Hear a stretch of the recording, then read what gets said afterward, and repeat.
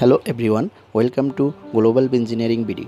আজকে আমরা দেখব টার্মিনাল ব্লক বা কানেক্টর। আপনারা আমার হাতে টার্মিনাল ব্লক বা কানেক্টরগুলো দেখতে পাচ্ছেন। এটা নিয়ে আজকের এই ভিডিও। টার্মিনাল ব্লক কি? বৈদ্যুতিক কেবল সংযোগ দেওয়ার জন্য টার্মিনাল ব্লক ব্যবহার করা হয়। টার্মিনাল ব্লক প্রসিং বা প্লাস্টিক ধাতু দ্বারা তৈরি করা হয়ে থাকে। টার্মিনাল ব্লক সিঙ্গেল ওয়ে থেকে চব্বিশ ওয়ে পর্যন্ত ডোমেস্টিক কাজে ব্যবহার করা হয়। এটা সাধারণত কানেক্টর বলে। এটি বিভিন্ন এম্পিয়ারের হয়ে থাকে।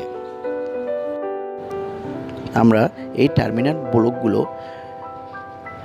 লো ভোল্টেজের ক্ষেত্রে ব্যবহার করতে পারি, যেরকমের টু টোয়েন্টি লাইনে টু পয়েন্ট ফাইভ ক্যাবল এর নিচে ক্যাবলকে জয়েন করাটা অনেক কষ্টকর হয়ে যায় বা অনেক সময় আমাদের সোল্ডারিং করাটা অনেক ইজি হয় না।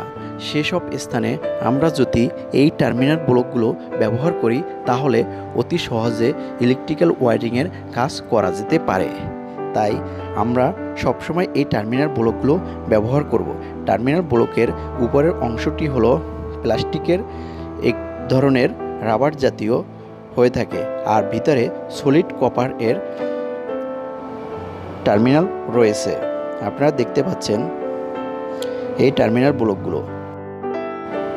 আর এর জন্য সেপারেট সেপারেট টার্মিনাল রয়েছে। এখানে নিউট্রাল বা ফেজ কোনো মতে একসাথে লাগার সম্ভাবনা থাকে না বা ঝুঁকি কম থাকে। তাই আমরা সবসময় টার্মিনাল ব্লক ব্যবহার করতে পারি।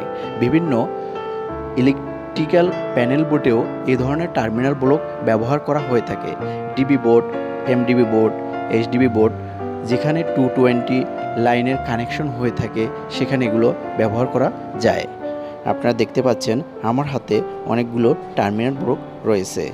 টার্মিনাল ব্লক কীভাবে কানেকশন করে, তা নিয়েও আমরা পরবর্তীতে আলোচনা করব। আজকের এই ভিডিওতে এই পর্যন্তই। ভিডিওটি যদি ভালো লাগে, তাহলে অবশ্যই লাইক করবেন, শেয়ার করে অন্যকে দেখার সুযোগ করে দেবেন। আর যারা এখনও এই চ্যানেলটি সাবস্ক্রাইব করেনি তারা অবশ্যই সাবস্ক্রাইব করে আমাদের সাথেই থাকবেন। খোদা হাফেজ।